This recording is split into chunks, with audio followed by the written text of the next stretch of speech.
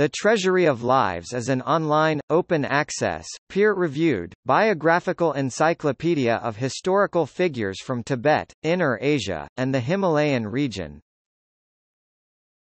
Topic background The Treasury of Lives is an online biographical encyclopedia that was established in 2007 with the mission of providing open access to the lived history of Tibet and surrounding regions. Biographies are intended for a wide audience of scholars, independent researchers and practitioners. Essays cover a wide range of figures, from Buddhist masters to artists and political officials, most of which are peer-reviewed. Website localization into Tibetan and Chinese languages in is progress in order to meet the growing numbers of users active in those languages. The Treasury of Lives is a collaborative resource with over 100 contributing authors. The Treasury has published over 1100 biographies. Many essays are peer-reviewed and benefit from extensive internal and external links to associated art, maps, place descriptions, family and clan information, and timelines.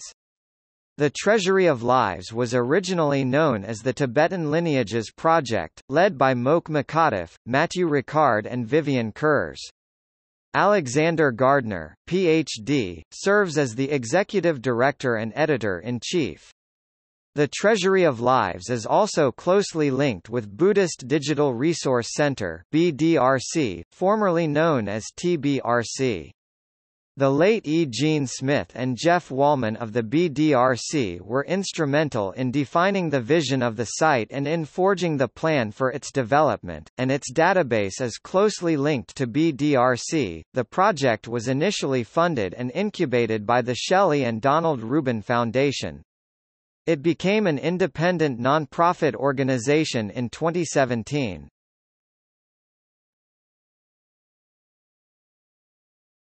Topic: Authors.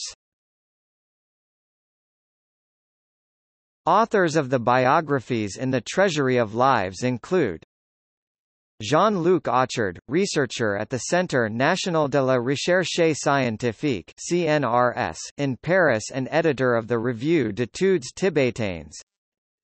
Suzanne Bessenger, assistant professor of religious studies at Randolph College. José Ignacio Cabezón, professor of religious studies at the University of California, Santa Barbara and co-editor-in-chief of the Journal of the International Association of Tibetan Studies JIATS.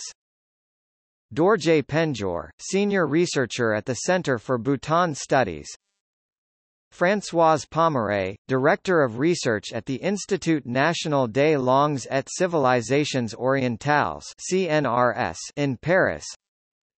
Tsering Shakya, Institute of Asian Research IAR at the University of British Columbia. Gene Smith 1936 2010 renowned Tibetologist Heather Stoddard, professor at the Institut National des Langues et Civilisations Orientales CNRS, Paris. Gray Tuttle, professor of modern Tibetan studies at Columbia University. Cameron David Warner, postdoctoral fellow in Buddhism and Modernity Department of Anthropology and Ethnography, Aarhus University. Jeff Watt, Director and Chief Curator of Himalayan Art Resources Samten Karmay, Director of Research Emeritus at Institut National des Langues et Civilisations Orientales CNRS, Paris